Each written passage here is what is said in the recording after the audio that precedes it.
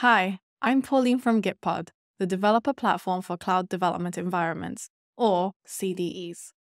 Let me show you around. I'm a developer. The first thing I want to do is work on a pull request that someone else created. Traditionally, I would check out the code and set up various tools in order to do a review. That might include things like Docker, NPM, a compiler, my IDE, and the list goes on. With Gitpod, all I need to do is click this button.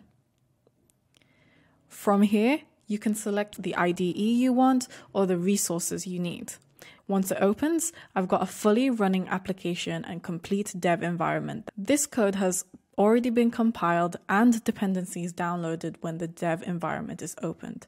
That's because of Gitpod's pre-builds. So how does all of this get created?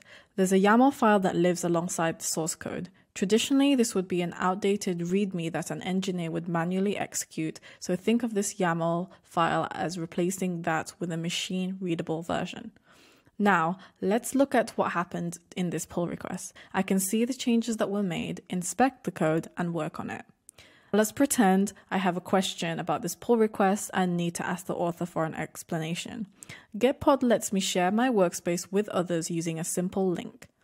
Finally, let's look at the admin UI. This is where any member of my team will go to administer users. The members page is where we have a list of all users in the organization. The workspaces tab showcases a list of workspaces currently running. It's super easy to configure and interact with any given workspace. Workspaces are rendered inactive after 24 hours but can be re enabled with a click of a button.